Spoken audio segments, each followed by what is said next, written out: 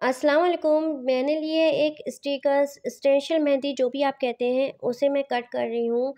मैंने आगे की कई वीडियोस में बताया है कि आपको स्टेंशियल मेहंदी को, स्टिकर्स मेहंदी को कट करना ही होता है। अगर आप कट नहीं करेंगे तो डिज़ाइन एज इट इज़ बिल्कुल फिट नहीं आने वाला है, बहुत ख़राब डिज़ाइन आएगा। फिंगर्स की डिज़ाइन फिंगर्स पर नहीं आएँगी इधर उधर आएँगी।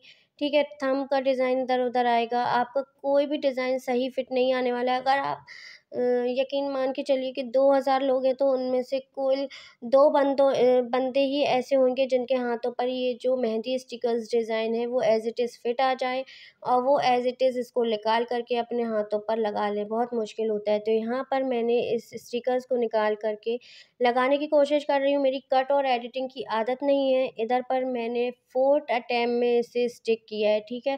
तो ये प्रॉब्लम हर किसी के साथ हो सकती है, इसलिए मैंने कट नहीं की है वीडियो। तो आपने देख लिया है, इसे बहुत ज़्यादा हमें हाथ नहीं लगाना है, ऊपर की तरफ़ से पकड़ना है और अगर एक बार सही फिट नहीं बैठता है तो उसी तरीके से उठा करके फिर से इसको एज़ इट इज़ फिट करना है। दोबारा नहीं बैठता तो दोबारा ऐसे ही करना है। आपको घबराना नहीं है बिल्कुल भी इस स्टेज पर। बस आपको स्टिकर्स को बहुत ज़्यादा टच नहीं करना है। अगर आप ऊपर से पकड़ते हैं तो बस ऊपर से ही पकड़ के बार बार इसको फिट करने की, इसको स्टिक करने की कोशिश करें। आप बीच से अगर हाथ लगाएँगे तो ये सारे डिज़ाइन जो है ना, एक दूसरे में चिपक जाएँगे और आपका स्टिकर्स जो है वो बेकार हो जाएगा। किस किस के साथ ऐसा हुआ है ज़रूर से वीडियो में कमेंट करें। यहाँ पर देख सकते हैं आप इस तरीके से स्टिकर लेना है। ये स्टिकर्स की क्वालिटी बहुत ज़्यादा अच्छी है। ये मैंने फ़्लिपकार्ट से बाय किए हैं। टेन का कॉम्बो जो कि तीन सौ के अंदर अंदर आपको मिल जाएगा। तीस रुपये में एक पड़ रहा है, बहुत ही अच्छा रेट है तीस रुपये में। कहीं भी आपको मेहंदी आप पार्लर से जा कर के लगवाते हैं, दो सौ, डेढ़ सौ से कम नहीं लेंगे, वो चार्ज नहीं करेंगे। ये मेहंदी आप लगा सकते हैं, बहुत ज़्यादा बिज़ी होते हैं। दस मिनट में लग जाएगी, क्योंकि यहाँ पर मैं इंस्टेंट मेहंदी कौन यूज़ कर रही हूँ, जिसकी स्टेन भी बहुत डार्क आती है, चार, तीन दिन तक आराम से आपके हाथों पर लगी रहेगी तो स्टेन का भी कोई मसला नहीं है कि ये बहुत जल्दी निकल जाने वाली है। आप इजली इसे पेस्ट कर सकते हैं, अपने हाथों पर लगा सकते हैं। अगर आप हाउस वाइफ हैं, बहुत ज़्यादा बिज़ी शेड्यूल होता है, बहुत घर के काम काज होते हैं, त्यौहार है, तीज है, बहुत साफ़ सफाइयाँ होती हैं और उसमें आपके हाथ रह जाते हैं बिल्कुल खाली तो बस इन्हें मंगा करके रखना है, कुछ नहीं करना है। तीस रुपये का एक स्टेंशियल है जो कि तीन से चार बार यूज़ हो जाएगा, दस रुपये में भी आपको ये मेहंदी नहीं पड़ रही है। एक बहुत अच्छा ऑप्शन है।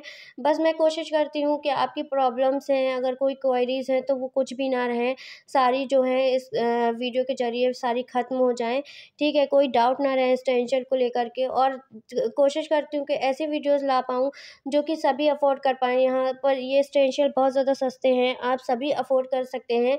साथ ही इसे कोई भी लगा सकता है, बहुत ही आसान है। अपनी मम्मा से कहिए, अपने सिस्टर से कहिए आपके हाथों पर पेश कर देंगे।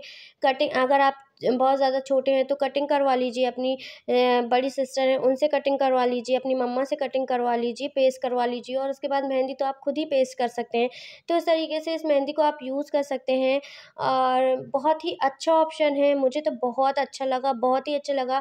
अच्छा इस पर जो इंस्टेंट मेहंदी रेड कोन मैंने यूज़ की है, वो अमीना की है, उसकी लिंक भी डिस्क्रिप्शन बॉक्स में दे दूँगी। बहुत ही अच्छी मेहंदी है, जितनी तारीफ़ करूँ उतनी कम है, एक तो पाँच से दस मिनट के अंदर बहुत ज़्यादा डार्क स्टेन आ जाता जाता है, आप देख ही सकते हैं, यहाँ पर मेहंदी सूखी भी नहीं है और इसकी स्टेन कितनी ज़्यादा अच्छी है। इस, इससे लगाएँगे आप तो बहुत ज़्यादा खूबसूरत आपकी मेहंदी लगने वाली है, ठीक है? मेरे चैनल को सब्सक्राइब कर लें ऐसे ही यूज़फुल वीडियोस के लिए। और मैं अपने चैनल पर ऐसे ही वीडियोस लाती रहती हूँ। यहाँ पर आप देख सकते हैं, इसी स्टेंशियल को मैं रीयूज़ करने के लिए उसके वाटर पेपर पर इस तरीके से चिपका रही हूँ। और यहाँ पर मेरे पास में एक टिशू नहीं था तो मैंने हाथों के हेल्प से इसे साफ़ किया मेहंदी को। आप टिशू ले लें, ठीक है? हम मिलते हैं नेक्स्ट वीडियो में। वीडियो को शेयर करना ना भूलें। अल्लाह हाफिज़।